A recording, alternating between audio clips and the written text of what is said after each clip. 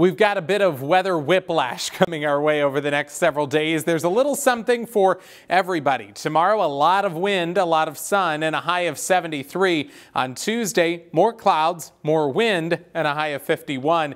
It'll stay breezy Wednesday, and that temperature just keeps dropping down to 44 degrees.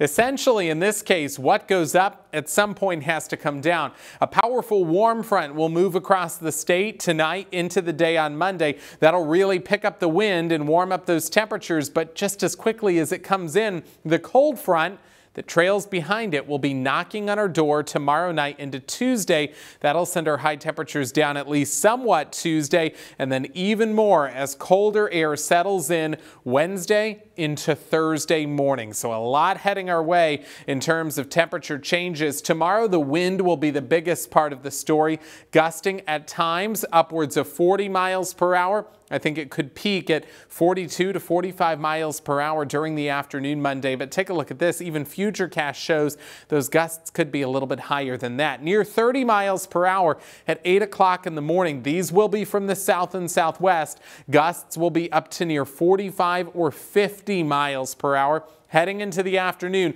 So those traveling on east and west roads should be especially careful because of the direction they'll be coming from. It'll stay gusty tomorrow evening into Tuesday morning.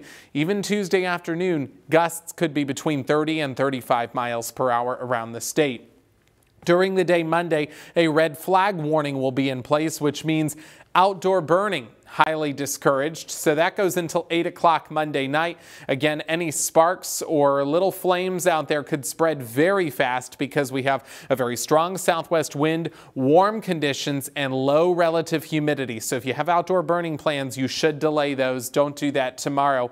And of course, it will be very warm as those winds get us up there will be anywhere between about 15 and 25 degrees above average. High temperatures on Monday in the low 70s across the area. We'll get to 73 in Des Moines, 71 in Creston, 71 in Grinnell and Ottumwa gets to 72. Then that cold front comes in on Tuesday, knocks our highs back to the upper 40s to near 50 or 51 degrees in central Iowa. Here's the Holt Plumbing and Heating 10-day forecast. We continue falling into the upper 20s on Wednesday morning. Highs only in the 40s on Wednesday, mid 20s on Thursday morning, low 50s for highs.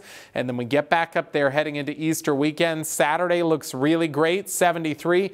Easter Sunday, a high of 70, and that looks like it'll usher in some pretty warm weather for the start of April.